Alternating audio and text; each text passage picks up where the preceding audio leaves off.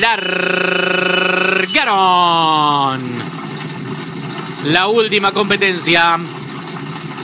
El premio 120 años del periódico La Colonia. Sale a hacer la delantera por el exterior de la pista.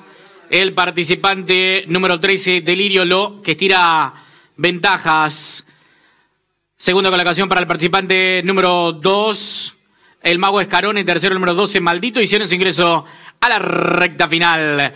En la delantera lo hace por el interior de la pista el número 12, Maldito. Segunda ubicación para el número 2, el Mago Escarone. Últimos 350 metros para el disco. En la delantera lo hace el participante el número 12, Maldito, con ventaja eh, eh, sobre el participante número 13, Delirio Lo. Es el que lleva ventaja sobre el número 12, Maldito.